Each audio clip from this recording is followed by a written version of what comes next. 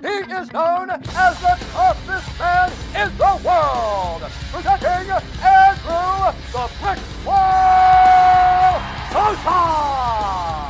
What is up, my friends? How y'all doing? This is your boy Sosapotence coming at you with the Wish 2023 movie review early screening. There will be spoilers in this, but I promise you, especially if you've read the title, you don't have to worry about the spoilers. I'm not going to ruin the movie at all for you. It's going to be mostly adults listening anyway. And parents, you're going to want to know about this because you're not interested in this movie anyways. But there is your spoiler warning, just in case you want to be turn away and click away now. Before we go ahead and get started, please consider joining my memberships as I was demonetized on YouTube. Do the PayPal option. I know PayPal is a garbage company and they take way less of a cut than YouTube does anyway. And I need to be able to bring up my own system. That way I don't have to rely on them anymore. But just in the meantime, it would be highly appreciated. Get on with it. Yes, get on with it! And in either event, I know times are tough with the creepy Joe inflation and all. Please subscribe hit the bell for notifications on all so you can see all my future content. Smash that thumbs up like button, leave a comment, support the messed up YouTube algorithm, share this around to everybody that you know. Follow me on my social media platforms. Get on with it! All right, I'm going to start out with some of the pros because it's not all bad. And whenever you read the title, you're going to be like, oh, it's blatant. It's not blatant, it's all still subliminal messaging, but they're getting much more bold with their messaging. They're not even trying to hide their Libya agenda anymore. They're not even trying to pretend like it was meant to be something else. They're going full throttle on the identity politics and, and literally make an allegory for America within this show. But the pros, it was actually kind of funny. I it was had lots of musical numbers like most Disney shows do, but this one had even more than the normal. But I actually thought the singing was good.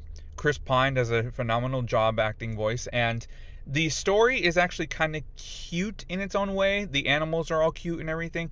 And the animation style is definitely different. I don't know how they're doing this one. It's one of those that looks kind of cheaply made, but it allows for the flow of 3D, you know, behind a green screen most of the time. That's what it looks like. So there's pros and cons to the animation, but it's not anything that's going to be throw you off. It's actually going to seem probably kind of quite nice. And actually was funny. The goat is everyone's favorite, literally the little baby goat, and he has this uh, super low voice and it's it's hilarious.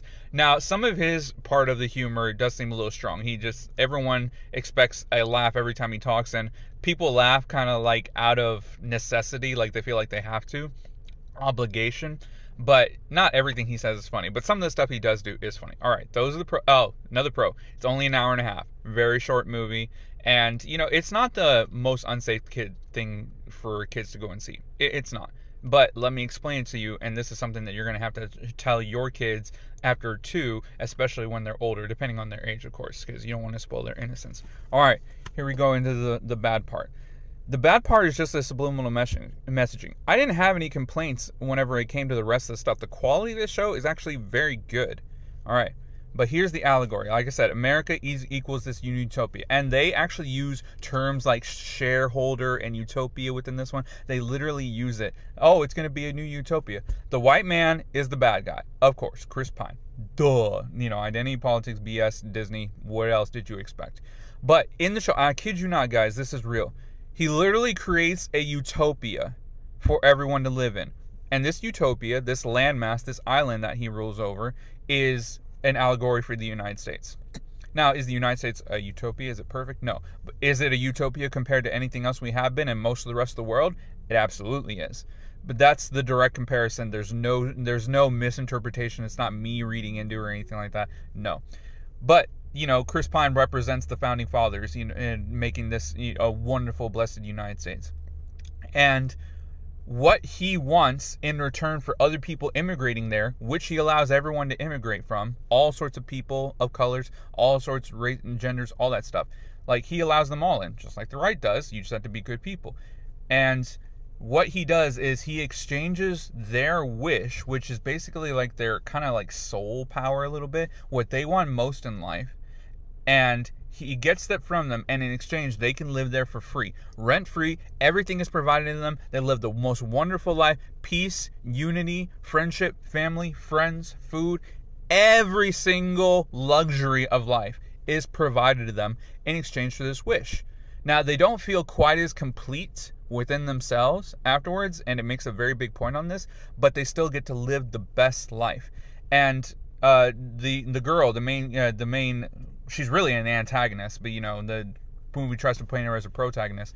she actually wants to get her grandpa's wish granted for his 100th birthday and the reason he doesn't want to grant the wish the the king who has the wish is because it's too vague. He knows the power of wishes. He knows m- monkey's paws. He knows that some wishes if they're left too vague will actually come true and not benefit the rest of society. It's basic it's kind of like a rip off of the new Wonder Woman movie, you know, the the latest second one that was a drastic reduction from the first one.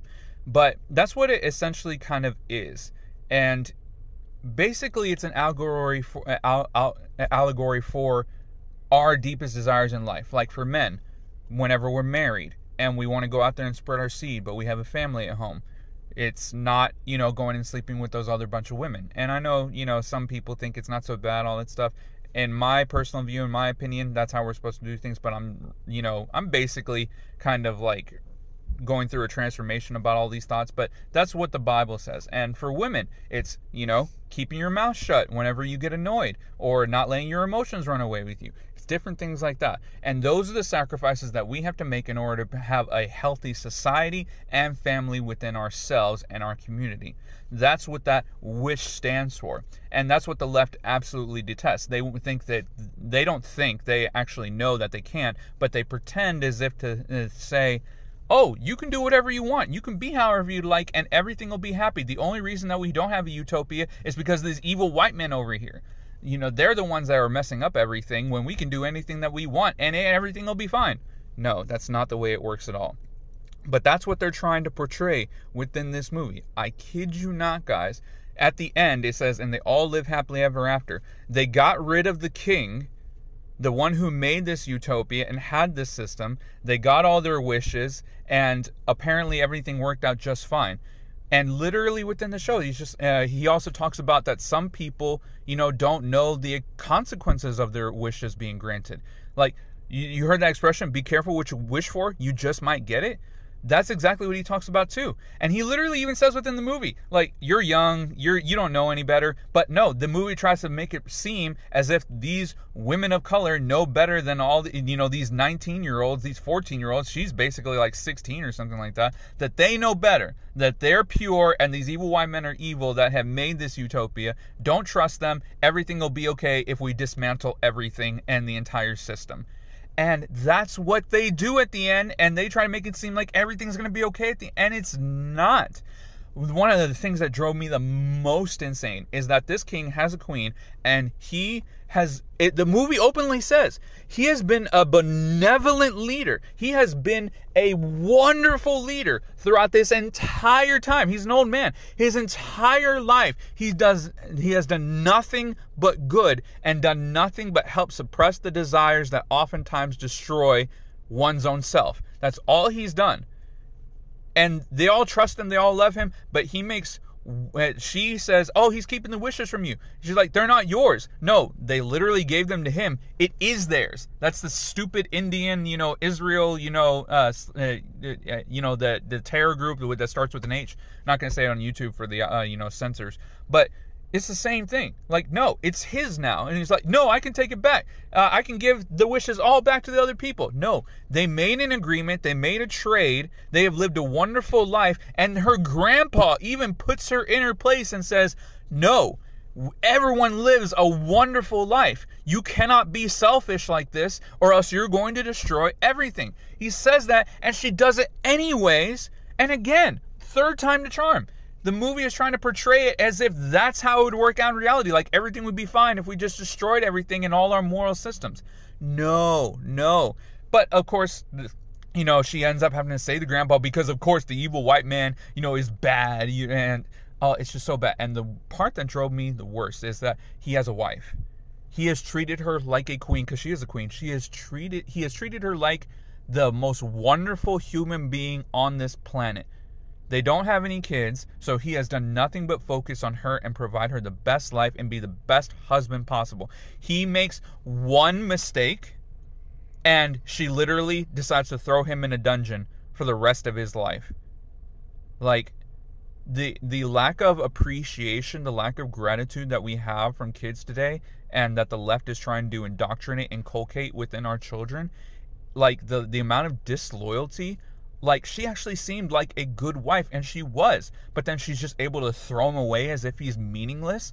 Like way to show off how women really are bro. Like like is that really what you're trying to like disney is actually trying to portray that because what they do is they take women and they take people of color and they give them the most horrible movies so that we will automatically associate women and people of color with bad production and quality in movies and entertainment and we won't want to see them. That's a, a very smart tactic that is almost unbeatable it's very hard to get around that like how do you avoid that repetition of pattern. You can't ignore patterns. That's what dumb people do.